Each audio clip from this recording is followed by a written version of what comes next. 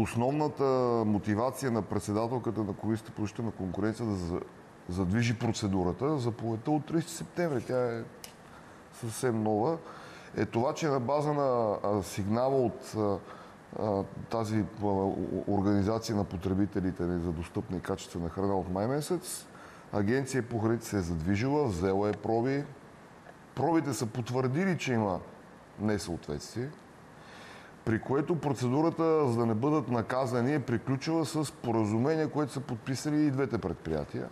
Като така, както е написано в документите, които са качени, пак казвам, на страницата на КЗК и всеки може да ги провери, Едната процедура по отношение на едното предприятие е приключила, другата още не е приключила. Подписвайки си споразумения с проверяващи органи, ти, ти си признаваш, че има, има нарушения.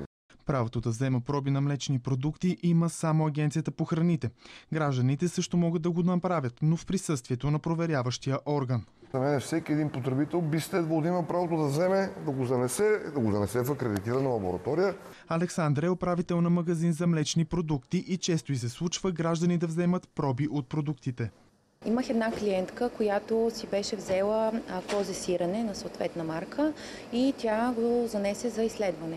И след няколко дни се върна и аз съответно я попитах има ли някакъв проблем и тя каза не искам да ви похваля, че сиренето е наистина 100% козе. Сирената, кашкавалите и като цяло млечните продукти, които предлагаме в нашия магазин са от малки мандри в страната със собствено производство, дали са около София или Родопите, са различни.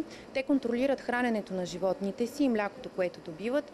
Знаеме процеса на производство, виждали сме ги, ходили сме в мандрата, в фермата, следователно можем да гарантираме качество. Производителите на млечни продукти са категорични, че етикирането на хранителни продукти трябва да бъде ясно и неподвеждащо потребителите.